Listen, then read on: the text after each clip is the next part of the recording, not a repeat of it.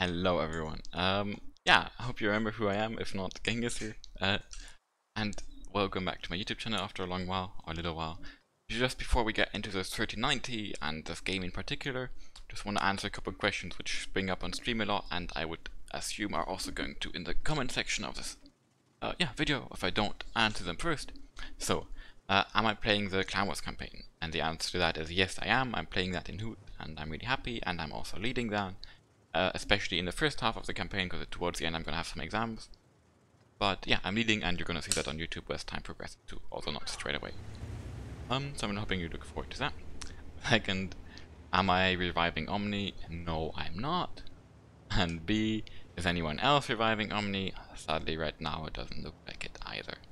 And uh, last question I'm going to answer, which I'm pretty sure would also happen otherwise, is um, why did I leave Go In?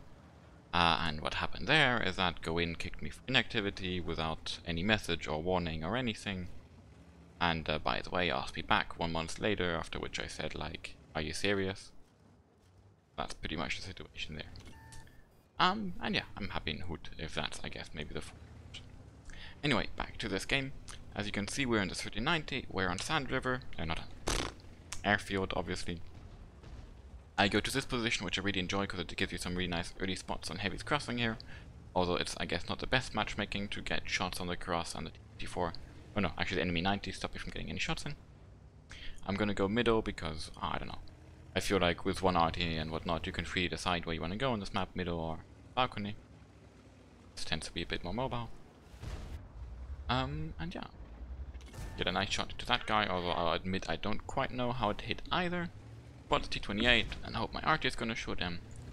And notice I can't do much here. I'm gonna talk a bit, um, by the way, about the difference between this 90 and the old 90 and also how the new 90 is in general while, you know, commenting the game. Give you a bit of a tank review.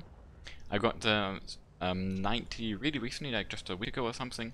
I didn't like most of the Tier 9 light changes I compared to the trades in general. I had a lot of fun actually with the new Tier 9 Ru. Uh, but for example, the lightweight really kind of disappointed me and then the tier 10s even more so.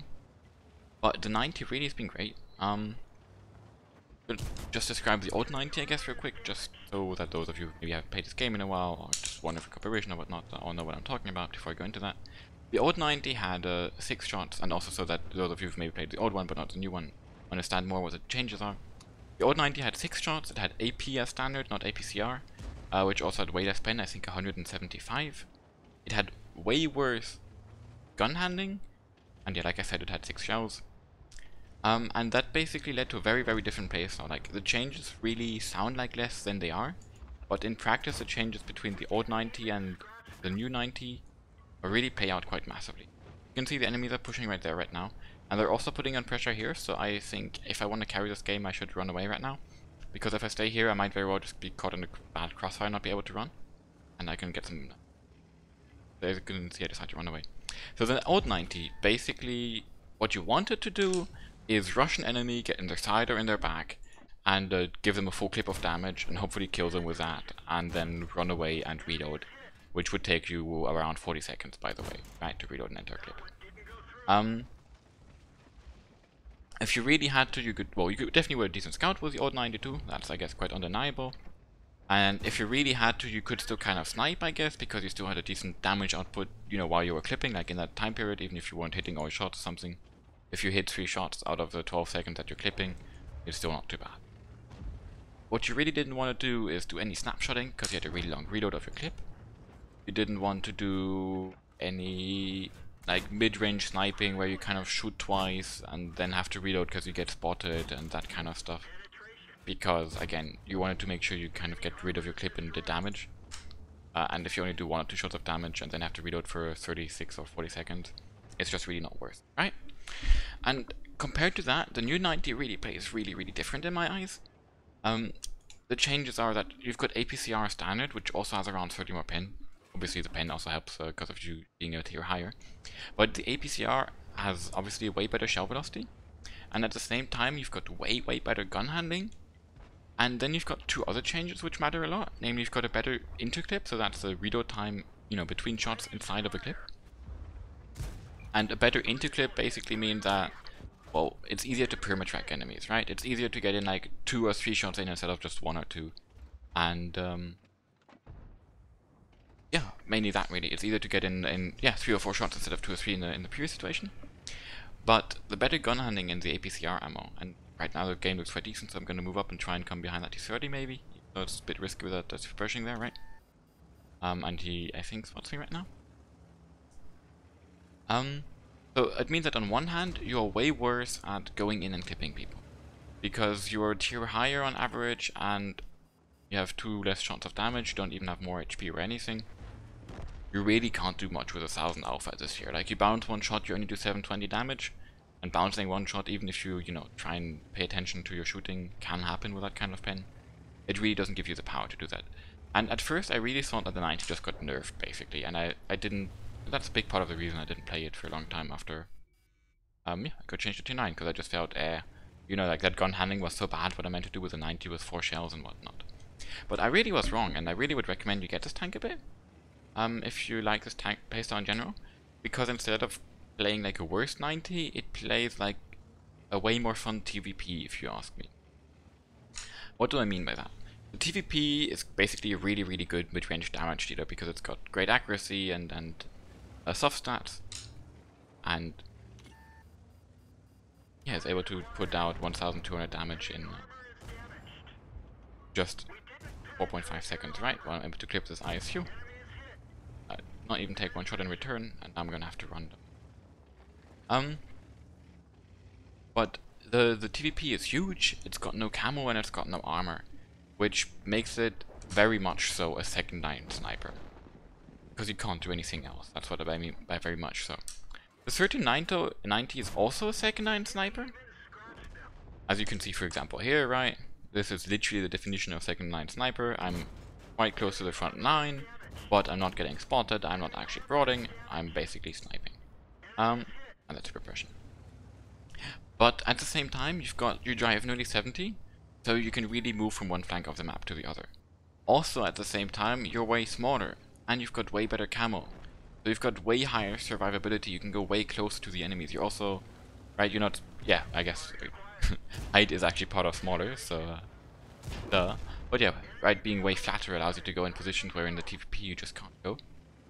Um, and that allows you to just have way more fun because you can still do, for example, the, the kind of TVP playstyle, which is that second line sniping, but you're also still a really good scout in 1390, I would say so.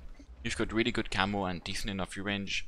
Uh, you're really good at camping in a bush, but yeah, nothing stops you from scouting more actively too. While clipping that Super Pershing, and I think this is one of the mistakes I did this game, uh, this clip here. It ends up working pretty decent, could I get in like three shots and only take one every turn. And before I talk more, I want to talk about something real quick. I think the standard reaction for like 90% of people in this situation, I'm standing here, I shoot that guy, I'm on reload, is hug this area, so that way I'm safe from that guy and I'm safe from anything here, right? I think that's what many of you would have done. Look what I do. I make sure I stay unspotted, stay as low as possible, or get unspotted rather, right, for now it's just spotted by the Super Pershing. And move, really, that's my focus, move. And that is why I needed to move. If I would have stayed here, the RT would have just pre-aimed on me, uh, and at least done damage to me, if not outright killed me. I'm convinced of that. Same reload, way easier shot, and so on. By moving, I managed to dodge the RT shell. By now, I'm also unspotted, and I can now move up here and then take out the RT. But yeah, back to the, to the 90. You're also able, and that's what I really find the fun part of the 90, is to find new mid-range positions which you would not use in any other or nearly any other tank because on one hand you're smart enough and you have the camo and whatnot to survive in those positions. I don't know. Think for example next to the middle in Erlenberg, those kind of positions, right? In the housings, playing playing around the bushes and the houses and so on there. Obviously there are two or three positions you can go to in other tanks too, but in general it tends to be a rather risky thing.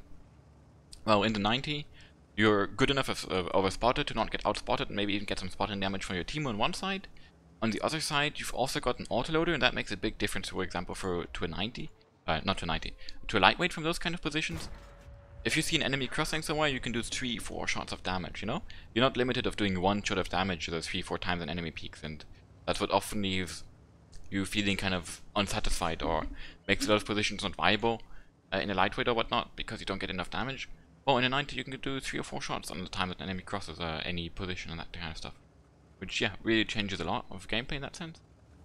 And you still have the speed at the end to go flank. And obviously, at this point in the game, even my 4 shots start becoming dangerous. So TLDR, light, uh, no, 13 90 great tank, yes. Right now, I'm trying to go for the ass of the T30, right? The game got really close. Um, I know I wasn't talking too much about it. Tell me if you like that or not in the commentaries, I guess. I bounced the first show unluckily. That second show was obviously entirely garbage. But yeah, I decided I need to go for him and take him out right now. I pin the first show on his side and make sure I aim the second one quite well at his lower plate. And then I just run. It's now a 1v1 by the way.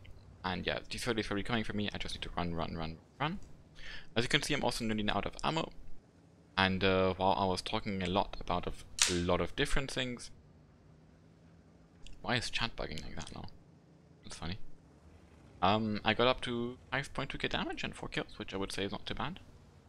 But I definitely want to make sure I bring this, this um, carry home. And I guess here at the end is also actually, a, you're gonna see what I guess makes this tank more fun than a, than a TVP. If I were a TVP in this situation, or in any other medium, right, I would have to be really careful because Sure, I have better camo and mobility and free range than a T30, but actually not by much. Like, if I'm kind of peeking in the open, I'm not actually behind a bush. Most likely, the T30 spots me and I spot him too. For example here, right? T30 most likely would have spotted me if I'm in a TVP standing out. But since I'm in a 90, I'm just way more safe in a lot of ways. Enemies can't snapshot me because I'm not huge, so they have to aim that bit longer. Uh, I'm way faster, so in that short time period I can get safe, or even they just miss me because I'm small. Or in the first place they don't even spot me, because I'm smaller so it's easier to fit in a bush, or just I have better camo so it's way harder to spot me. Just to put it in perspective, I think I checked uh, 90, 13 90 was a decent camo crew. Shooting or on the move has better camo than an I-7 standing still not shooting. I'm not 100% sure about the tanks anymore, but uh, definitely tier 10 heavy in the 90, so just to go to show you like really how strong the camo is on the 90 or in general on the lights, I guess. Um, and yeah, I'm gonna talk about that a bit again, again a bit more, I guess. I see the T30 there, right? Um, he gets spotted, he doesn't spot me. So the logical reaction for him is to just be scared and not move, because he got spotted but he didn't die. So he must have done something right, but he doesn't want to move because he got spotted, right? So he's going to stay in that general area. That's just an assumption I can do. So that's why I decided that I instantly want to go here, because here there's both these bushes here and over there, right, where I actually shot from, which have a pretty high probability of at least allowing me to spot him, right? Like the first, my first goal is to keep eyes on him. As long as I know where he is, I know that I can win in the long or mid run because I'm a scout and he's a TD, so I can just keep moving around him. And as long as I know where he is, I can outplay him. So yeah, my focus is first get over there. I'm gonna pause it real quick. Get in the bush to spot him, and I even get lucky a bit, and I managed to get in the shot. I was hoping I would get in the shot, but obviously that wasn't guaranteed. But it was the most important thing to just lock him down and keep him spotted. I got in the shot and he found out where I was, so obviously I had to move again. And where was the logical position to go? Well, somewhere else I can outspot him from. Where can I outspot him from really? At this point from this area, right? I'm, as you can see, it's nearly the max of the view range. So I'm quite safe, um, quite confident rather, that he's not going to spot me. And as you can see, right, 296 meters and he doesn't spot me before shooting. And uh, yeah, managed to kill him. Let's have a look at the post-game stats, I guess. Bum, bum, bum. And sorry if my voice slipped up one or two times. Video, by the way. Ended up with an Ace Tanker, a Confederate, and a Caliber, which I guess is not too bad. Obviously, a Top Gun would have been nice, but I think 5 kills and 5.6, nearly 5.7k damage is quite okay in a tier 9 game in a Scout. Um, oh, I spotted only around 1000. I drove 6.6 kilometers, which I find to be quite incredible, really. Really goes to, to show you just how mobile you are, and also, and that's just one of the fun things about having an autoloader or having a clip compared to just a scout without a clip, is that it gives you those 20 seconds where you're reloading anyway, or you can just move a little bit, and since you're a scout, in 20 seconds you can move quite far. So you can move around, for example, in the middle of the map quite a lot without losing any actual damage output. But you still have an autoloader, which is which is really nice because it allows you to do that burst. But yeah, I ended up losing 6,000 credits because I fired nearly all of my gold shells. But normally in my 90, I really hardly ever fire gold. It's really not a tank I burn credits with, although I run coffee on So yeah, I don't know, really fun tank. I would recommend you get yours. I hope you enjoyed the video. And uh, tell me in the comments, I don't know, how you're doing, how you like this video. any tips and so on, as always. And otherwise, I hope to see you all next time, and maybe also on my stream, because I'm a bit more active on my stream than my YouTube channel, which isn't too hard. But yeah, no, I've been streaming like uh, three, four, five times a week. Goodbye. See you everyone, and